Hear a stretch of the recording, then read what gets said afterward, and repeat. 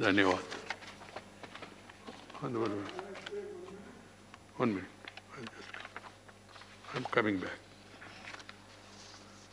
Honorable members, today, March 8th is the International Women's Day, a day to celebrate the social, economic, cultural, and political contribution and achievements of women across the globe and an honor and honor their indomitable spirit resolute determination, and incessant efforts which underline these achievements. This is also a day to take stock of the hurdles coming in the way of ensuring women their due in all walks of life and socio-economic development. This is an occasion to renew the efforts made in this direction, the progress made and the distance still to be covered. The United Nations theme for International Women's Day this year is Woman in the Leadership, Achieving an Equal Future in a COVID-19 World. This theme celebrates the tremendous efforts by women and girls around the world in shaping more equal future and recovery from the COVID-19 pandemic. It is also aligned with United Nations Women's Generation Equality Campaign, which calls for women's right to decision making in all areas of life, equal pay, equal sharing of unpaid care, and domestic work, ending all forms of violence against women and girls, and ensuring health care service that respond to their needs.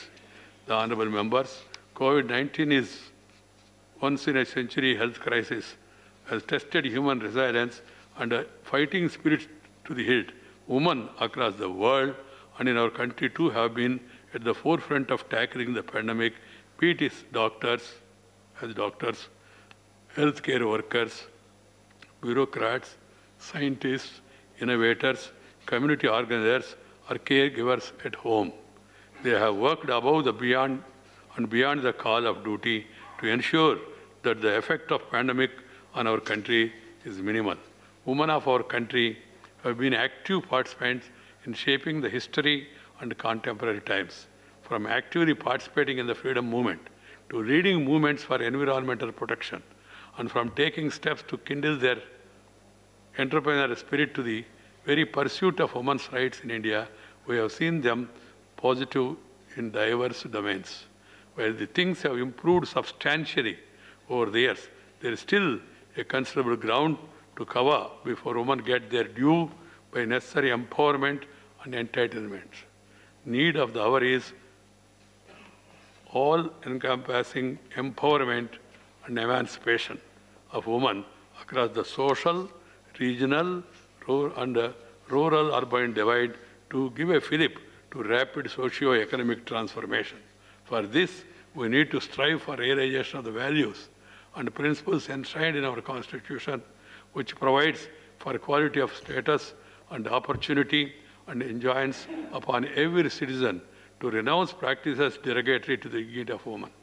Our nation as a whole cannot progress and rise to full potential if one half of it is restricted in making new contributions. So let us resolve on this occasion to remove all barriers, psychological, socio-cultural, economic and political, that deny women their due. We need to ensure an environment that allows women express them to their full potential in the form of both words and deeds. On behalf of all members and on my own behalf, I place on record the appreciation of the services rendered by the women members of this House and also the women citizens of the country for the development and prosperity of the nation. And I wish more strength and power to them in the future also. March 8th.